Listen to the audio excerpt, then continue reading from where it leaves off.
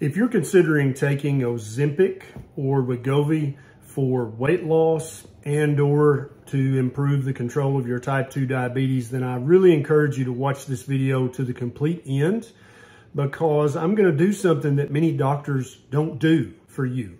Uh, one of the many jobs of a doctor is to explain to you the benefits of a new medication, but also the risks of a new medication, the potential side effects or the potential unintended consequences of taking a medication. Many doctors are busy. They don't have to, time to do this. So I'm going to go over the potential problems with Ozempic, Wegovy, and the other GLP-1 agonists uh, with regards to taking them for weight loss and what you need to understand and know before you decide to fill that prescription and begin to take this medication regularly for the rest of your life. I'm Dr. Ken Berry, a family physician, and this video is going to help you a lot if you're considering taking Ozempic for the rest of your life. Now, Ozempic is a GLP-1 agonist. This is a class of medications. There are several drugs in this drug class.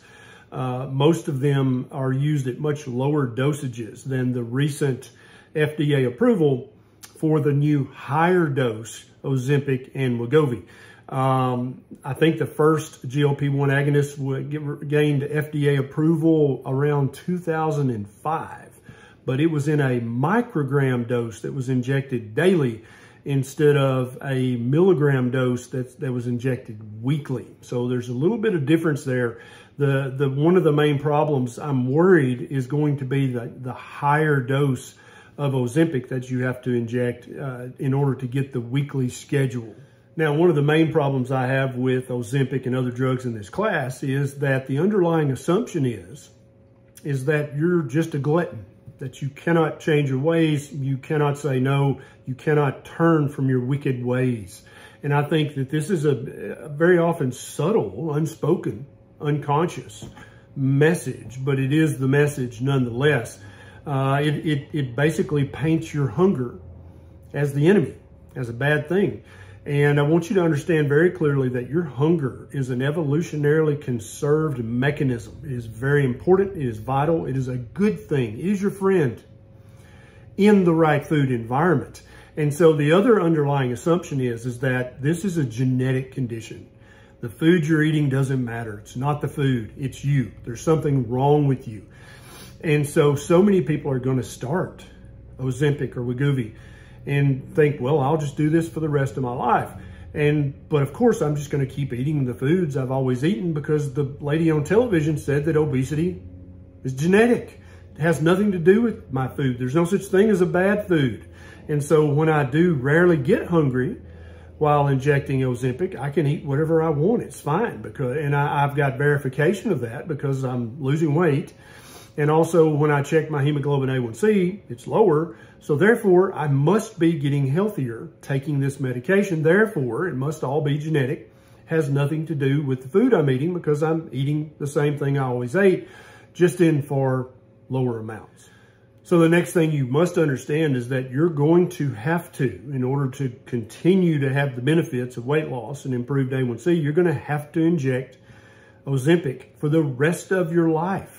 And so people, you know, we all think, well, the, the future is going to be rosy, right? What happens if you lose your job, lose your insurance, lose your life savings? What happens if some unforeseen financial catastrophe happens to you?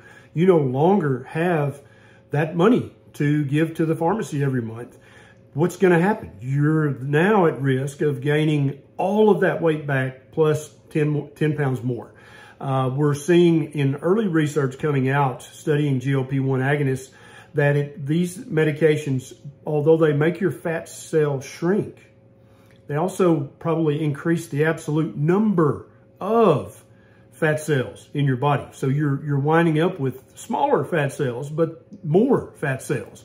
And so when you do hit that financial speed bump and you're unable to afford Ozempic anymore, you've got maybe twice as many fat cells now that you can now fill up. And that's why I think we see when people stop Ozempic, in many cases, they gain back all the weight plus more. They don't just gain back a few pounds, like someone who's went keto, lost 100 pounds, went off the diet, gained back 20. That's not going to happen when you stop taking Ozempic. you're going to gain it all back plus 10 or 20 more. Another thing, we're already getting reports back in uh, from healthcare providers prescribing Ozempic is that because people continue to just eat their standard American diet, which is very often deficient in proteins, fatty acids, vitamins, and minerals, there is a inordinate amount of muscle loss that goes along with the weight loss. Now, keep in mind, if you're overweight, you don't want to lose muscle. You just want to lose the fat. But if you're eating a high carb, low protein, low fat diet, and you're eating much less food than you ate previously, you're going to lose a lot of muscle. And indeed, we're starting to see this feedback from healthcare providers whose patients have not changed their diet. They've just started injecting Ozempic and they have lots of lean tissue loss. So not only muscle loss, but also connective tissue loss. And so the connective tissue in your face is what prevents you from having Ozempic face. And so if you're not eating, if you're not prioritizing your protein and you're not eating plenty of that and cutting down the carbohydrates, then you're going to lose a ton of muscle and a ton of connective tissue that holds your body together and makes it appear younger. The next thing that you need to understand is that there is no long-term safety data on these new higher dosages of the GLP-1 agonists. Uh, so Ozempic and Wegovy are they are at much higher doses than the initial FDA approvals for other GLP-1 agonists. Very much higher. And that's why you can get away with injecting them once a week instead of once or twice every day. Uh, this is probably going to be a problem for many people. And many people don't know that. Did you know that? You're you're thinking about taking Ozempic. Did you know that they're the drug company they got FDA approval for this? They have no long-term data proving that uh, that long-term use of Ozempic is safe in human beings. None. In fact, if you start taking Ozempic, since it was just FDA approved at this new higher dose uh, in 2022, you're going to be the experiment. This is called market data, post-market data. And so they, they get FDA approval, they put it out in the market, people start using it, and then healthcare providers all over the country are supposed to be looking for negative outcomes, negative side effects, negative problems, and the healthcare provider is supposed to report that to the database, which very often, as I said in the beginning, doctors are busy. They don't have time to tell you about all the possible side effects of a drug, much less if you come in saying, hey, I think this Ozempic caused this, that, or the other. Are they going to take the time to log in and report that to the database? Probably not. And so there is no proof of long-term safety, safety at this new higher dosage for Ozempic and the other GLP-1 agonists.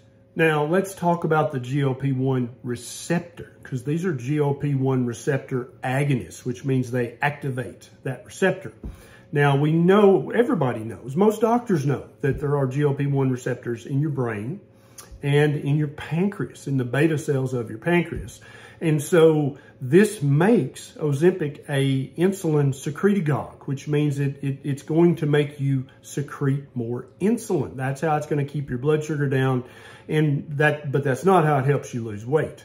So that sounds like a good thing. And indeed, we look at your hemoglobin A1C and you're like, oh yeah, it's better. So therefore I must be healthier. We also know that there are GLP-1 receptors in the central nervous system, in the hypothalamus, the brainstem, and the cortex, and perhaps other places in the brain as well. Now, these brain GLP-1 uh, receptors are the ones that basically turn off your natural, normal, um, ancestrally appropriate hunger. They're, they just tell you you're not hungry. In fact, many people who are injecting Ozempic say that just the idea of eating repulses them causes them to have mild nausea just to think about eating or to smell food. That's not natural. That's not ancestrally appropriate. That could turn out to be a long-term problem with regards to creating new eating disorders and perhaps other things as well. Now, is that the only two places that we find GLP-1 receptors in the human body?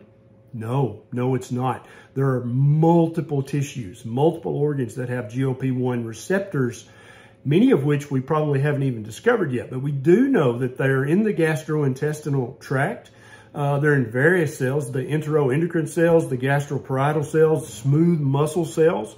Now, again, we think that may be how we're having some of the, the, the, the, delayed gastric emptying and other things that tend to slow down your absorption of food. That sounds like a good thing, but what's the long-term ramifications of mucking around with these GLP-1 receptors? There are also GLP-1 receptors in the heart, in your heart muscle. So what is Ozempic doing to your heart long-term? No one knows. Any doctor who says that they know that it's safe for long-term health in the heart in your heart is absolutely full of crap. Uh, also, we know there are GLP-1 receptors in your kidneys, in the nephrons. Why are they there? What are they supposed to do? What happens when you start injecting what is equivalent to a megadose of Ozempic once a week? What's that going to do to your long-term kidney function? Your kidneys are in charge of monitoring and adjusting your blood pressure and many, many other things in your body. Uh, are those things going to be affected long term? The truth of the matter is, literally no human on the planet knows what is going to happen to all these tissues that have GLP-1 receptors that you start injecting this megadose of, of uh, semaglutide once a week. No one knows, but we'll find out because you, my friend, are the lab rats. We will watch you and we'll see what turns up. Now, I'll just read from you one of the papers about the GLP-1 receptor in the kidney. Uh, although renal GLP-1 receptors have been identified, their exact localization and physiological role are incompletely understood. Did your doctor tell you that? There are also a couple of studies out showing that the risk and the rate of small bowel obstructions goes up on a GLP-1 agonist. Uh, remember I said there's GLP-1 receptors in the gut, all through the gut from, from top to bottom. And uh, I've got a couple of studies linked in the show notes below about the small bowel obstruction risk. There is a black box warning about thyroid cancer that appears in that handout that you didn't read that came with your Ozempic. Uh, this has really only been shown to happen in, in lab rats, in animals. Uh, I don't think we have any examples of this happening in humans yet, but the FDA considered it so important that they demanded, they required that the drug manufacturer put that in a black box warning. There are also GLP-1 receptors in your enteric nervous system. What do they do? What's the long-term risks of mucking with them once a week for the rest of your life? There are also GLP-1 receptors in your immune system. That sounds pretty important. What do they do? No one knows. There are also GLP-1 receptors in your lungs. What do they do? I wonder what happens if you inject a megadose of a GLP-1 agonist once a week for decades. What's that going to do to your lung function? Literally no one knows. A wise old doctor once told me to never be the first doctor or the last doctor to prescribe a medication. Uh, and so the wisdom of that is hold off, let some other people experiment with it because that's exactly what they're doing because there's no long-term safety data. Uh, and so when it comes to patients, I think that his advice is also applicable to you. You might want to hold off on Ozempic for a year or two and let your friends all try it and see how they do. And then if they seem to be doing fine two, three, four, five years from now, then maybe it's safe to try. Uh, what would I recommend a patient if they came to me and said, hey, look, I, I'm not going to do keto. I'm not going to do carnivore, okay? I just want this Ozempic shot. Prescribe this for me so I can lose some weight because being obese or severely obese is a risk factor for many, many causes of death and disease, and that's absolutely true. I would tell that patient everything I just told you, and I would also counsel them thoroughly on a proper human diet. Say, look, it, you're eating too many carbs, okay? You're eating too much highly processed, highly inflammatory, sugar-filled, grain-filled, vegetable oil-filled crap. Stop that, okay? And if the patient might even bargain with me and say, look, I'm going to do keto. I'm going to eat a proper human diet, but I would like to take Ozempic for three months, four months, six months, kind of as a, as a head start, a turbocharge to get the weight loss going. In that scenario, I wouldn't be entirely opposed to a short course of Ozempic with the understanding that there's no long-term safety data, that taking this for years and years won't really mess you up, just like other FDA-approved drugs that we've seen come back after a few years on the market with million dollar and billion dollar lawsuits because they killed a bunch of people, a la Vioxx. So I, yeah, I, am not opposed to Ozempic or Wegovy or the other GLP-1 agonists. I just want you to be fully informed before you decide to do that. And also, I want you to absolutely understand that the food you eat and the junk that you avoid absolutely matters, even if you're taking Ozempic. If you're eating, you know, when you eat on Ozempic, when you finally muster up the courage and overcome the revulsion of food and, and eat, if you're eating a high carb diet, highly processed food, drinking lots of fruit juice, you're still going to be glycating your tissues and your organs and your cells. Uh, we know for a fact that fructose from fruit juice and from high fructose corn syrup does not show up as glycation that can be measured by the hemoglobin A1C. And so very often people thinking that fruit juice and fruit smoothies are healthy, that will be the only thing they ingest while injecting Ozempic. So they're going to be getting not nearly enough protein way too much fructose and other sugars. They're going to be glycating and mucking up and, and, and destroying all the cells and tissues in their body, leading to premature cell death, premature cell dysfunction. And they're going to have no idea because when they check their hemoglobin A1C, it's going to be better. So if you were to hear this video, read the package insert, talk to some friends, do some online searching and decide, you know what? I'm going to wait a few months or a few years. I'm going to let some other people be the lab rats. I don't want to be a lab rat.